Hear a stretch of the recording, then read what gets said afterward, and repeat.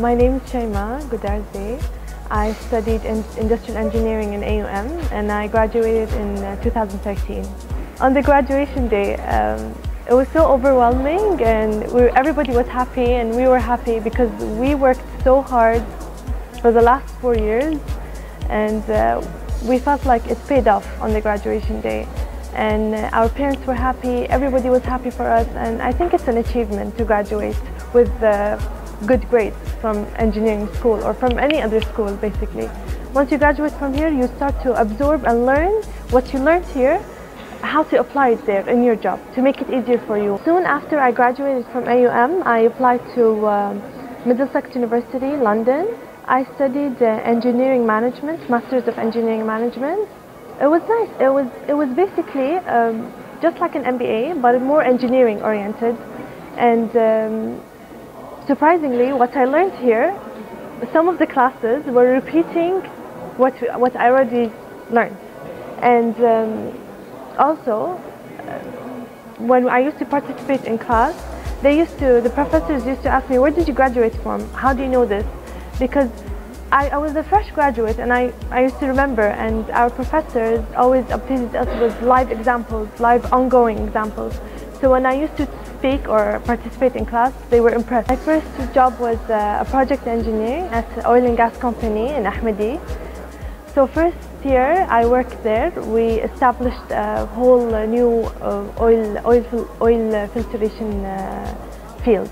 I miss being a student. Uh, I miss spending. Now that I'm here, I miss I miss the times I spent in the library. With we had group studies. We had we used to book the meeting room. It's fun. It's a it's a phase that will never repeat itself, I guess, unless you go back to being a student again.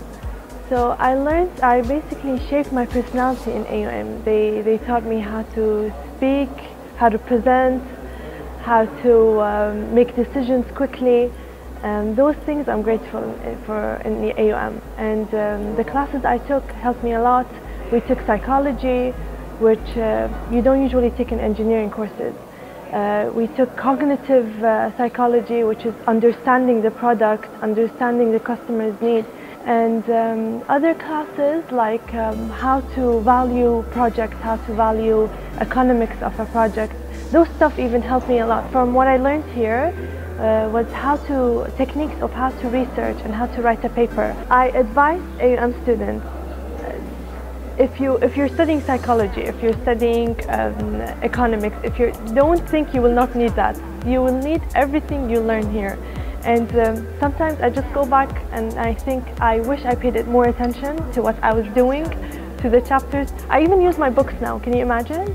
And um, pay attention yeah, pay attention to your studies, pay attention in class, attend classes. You will need them later. If you want to be successful at your job, you will need them. The environment is uh, very student friendly. Um, we have a gym, uh, we had the place to walk around. We used to sit in our breaks outside and uh, we have meeting rooms, we have a very nice library. And um, I think these, these facilities help the students. In the end, uh, I'd like to thank my family for supporting me and uh, my sister, she studies here also, and uh, the professors, and uh, thank you AUM.